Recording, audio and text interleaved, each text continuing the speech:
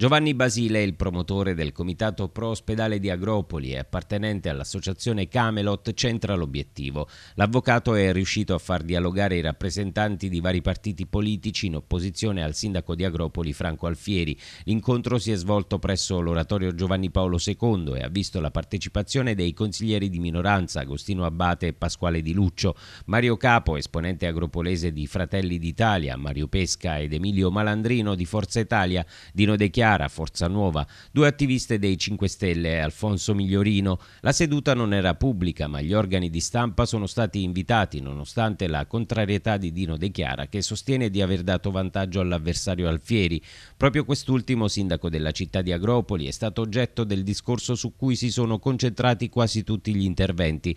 La necessità di ricostruire un'opposizione ad Agropoli che nonostante il contributo di Agostino Abbate e Pasquale Di Luccio rimane quasi sempre inascoltata e la prima priorità.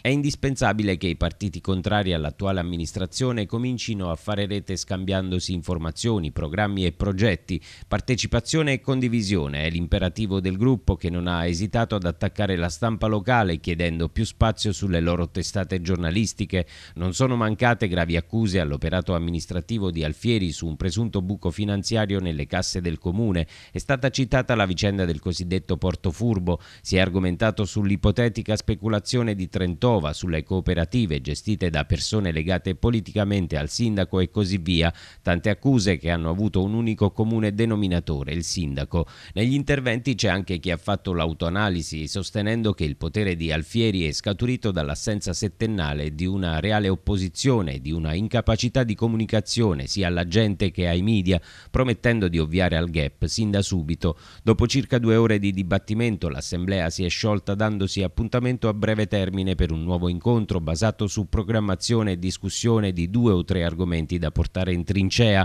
con la consapevolezza che rimboccarsi le maniche non è mai troppo tardi, adesso che il dato politico del sindaco è in calo e che alle prossime elezioni mancano soltanto 700 giorni.